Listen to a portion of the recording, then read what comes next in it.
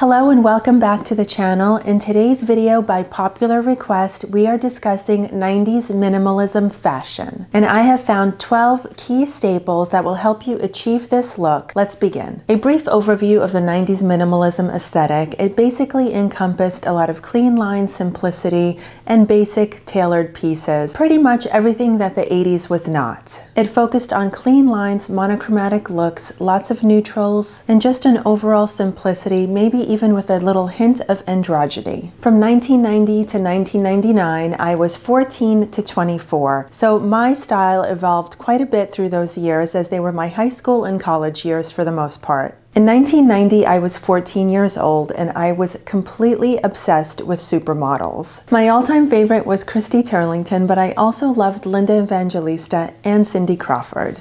Oh, how I wanted to be them so badly. Not only did I obsess over them on the runways, but I always looked through magazines to find their off-duty street style looks as well. Also in 1990, Beverly Hills 90210 TV show started, and I was also obsessed with Brenda Walsh's outfits. I loved her Midwestern style and how she tried to fit in with the in crowd in Beverly Hills. Then in the late winter of 1992, in my junior year of high school, I met who will eventually become my husband of 24 years. Now, his style was just Oh my goodness, he was the coolest thing. He had a little bit of a punk essence to him, but he also thrifted his clothes and always went for really high quality brand names and just really had an amazing sense of style, and he still does to this day. But in any case, I kind of adapted to his style a little bit, and he wore a lot of combat boots. I started getting combat boots. I got them in almost every single color of the rainbow, and also the Seattle music scene really started hitting the mainstream around that time, and I really started embracing embracing that whole grunge aesthetic too. So of course the combat boots, ripped jeans, really kind of distressed aesthetic. I remember raiding my dad's closet and getting some of his old plaid hunting shirts and getting some of his old vintage jeans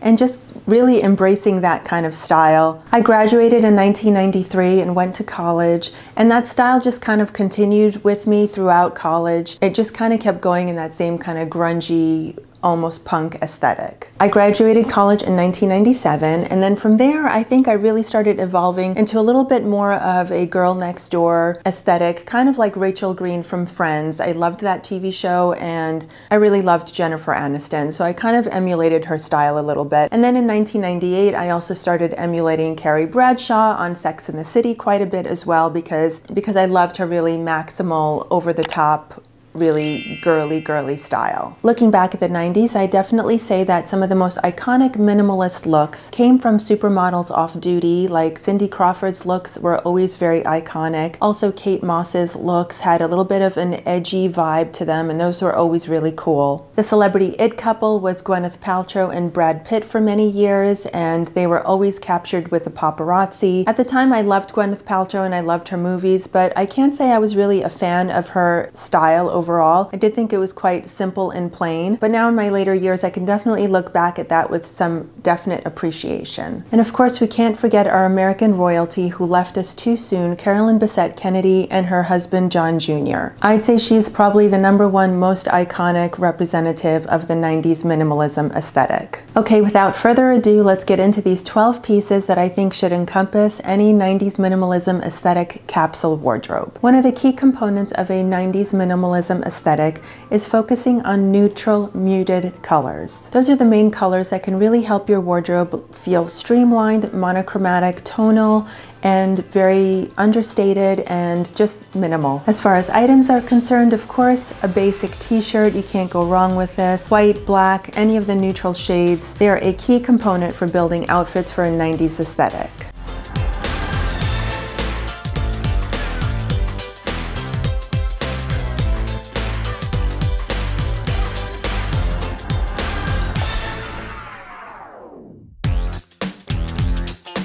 A next key component for the 90s aesthetic is to get a white tank top. Surprisingly, I actually don't own a white tank top in my wardrobe. This is the next best thing. It's a sleeveless mock neck kind of cropped top. Note to self that I need to get myself a white tank top. But of course, any color within the palette that you're using can work.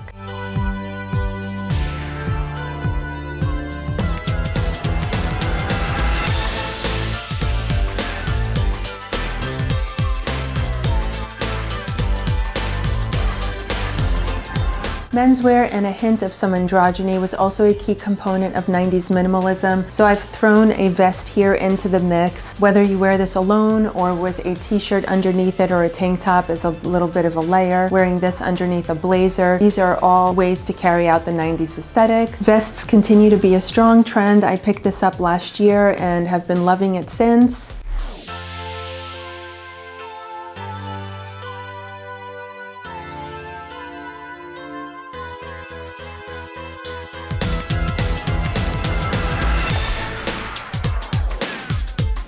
Looking back at a lot of photos to research this aesthetic, I saw Gwyneth Paltrow wearing leather pants. So I thought it would be very fitting to throw some leather pants into the mix. These are faux leather pants, a little bit of a crop style, but ones that I absolutely love and I think they're very versatile pieces to wear most of the year.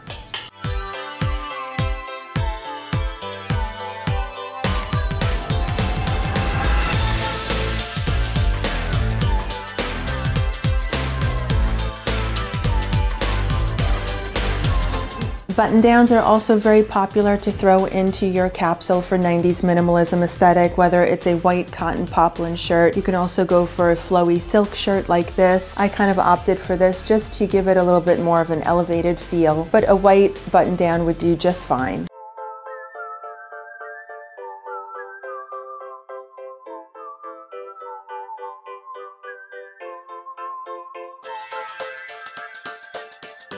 We also saw some great tailoring in the 1990s. High-waisted, relaxed but tailored trousers were a very popular thing. I went with these black timeless trousers and they're definitely going to fit this aesthetic.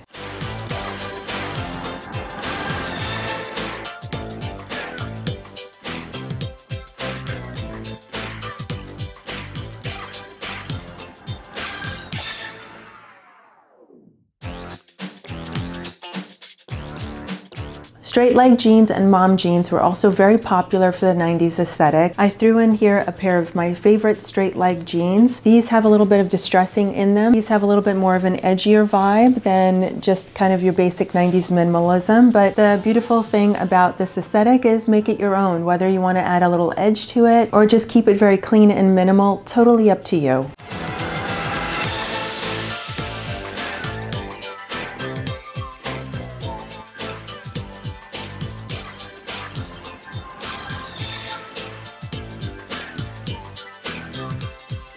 Mini skirts are also very popular, especially with the supermodels off duty. If you want to think about that clueless look, there was a lot of pleated little mini skirts. Wasn't really into that vibe, but I do love myself a mini skirt.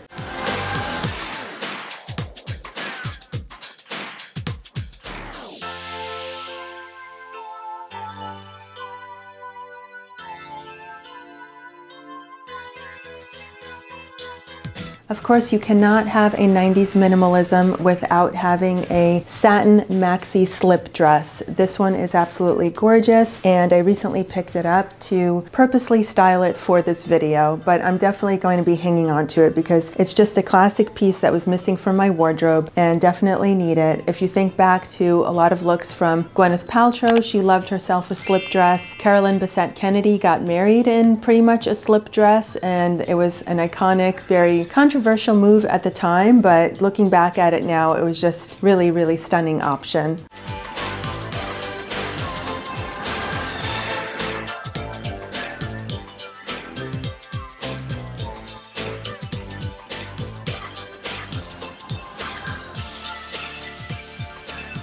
Also popular in the 1990s were a lot of strapless numbers and a lot of column style dresses. I did not have a maxi style of this one, but this is just a cute little mini little LBD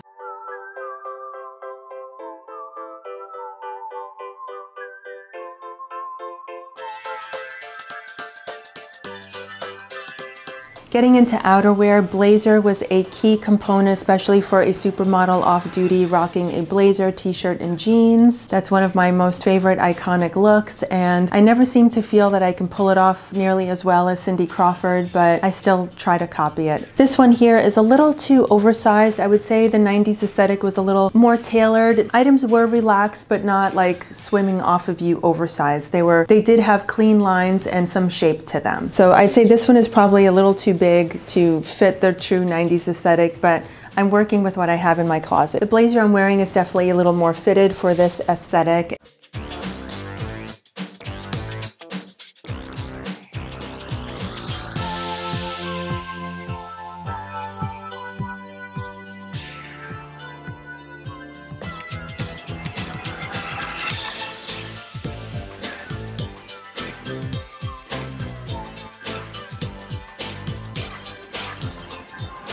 Gwyneth Paltrow also wore her leather blazer to death, and I don't own a leather blazer, but I thought I'd throw this leather moto jacket into the mix as that was quite popular back then as well. And this is a great piece to throw on with something soft and silky like a satin dress, or throw it on with your trousers, your jeans. I think a leather jacket, leather blazer really help kind of give you that 90s vibe.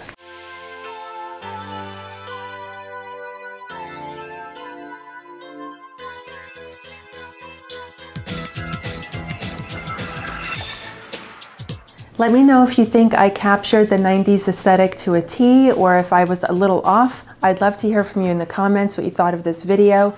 Of course, if you enjoyed it, please make sure you give it a big thumbs up. Let YouTube know that you enjoyed it. And if you're new here, please consider subscribing. I do styling videos like this all the time, and I really think that you'll enjoy it here. Thank you again for watching and spending a little of your day with me. I appreciate it so much. I'll see you very soon and have a wonderful week. Bye.